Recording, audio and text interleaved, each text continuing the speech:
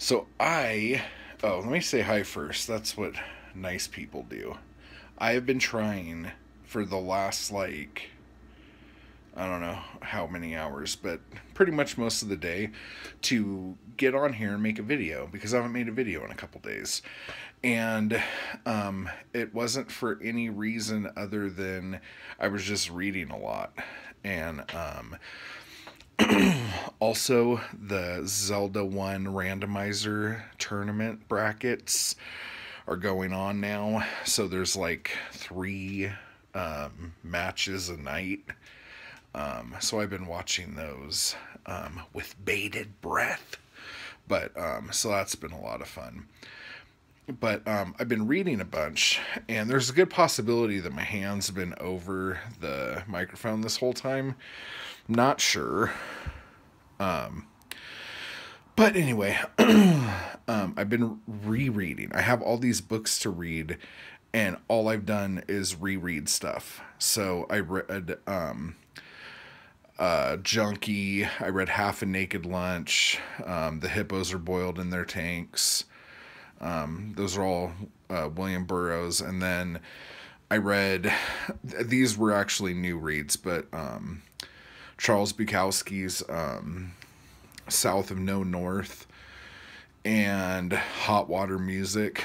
Um, both of which were really good. Um, they had the Chinaski character in there. Um, some of the stuff, like you, if you've read the novels, you've read before, but some of the stuff in there was just amazing. Like just really awesome little stories.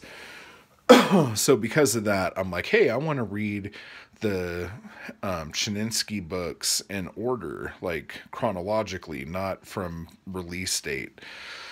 So I read Ham on Rye, um, Factotum, Post Office, and then I finished Women today.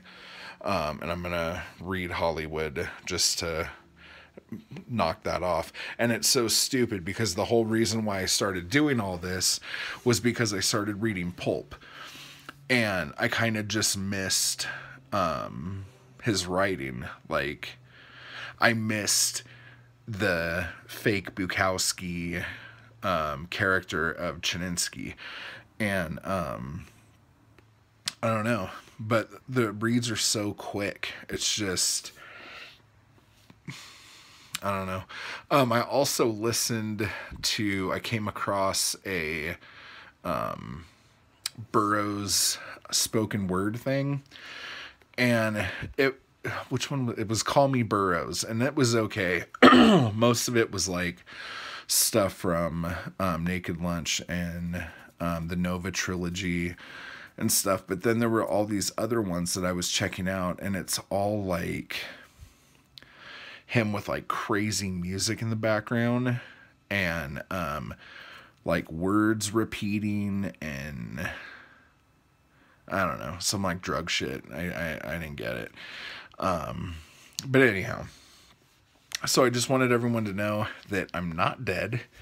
Um, because I've been getting like no emails from you guys asking if I was dead.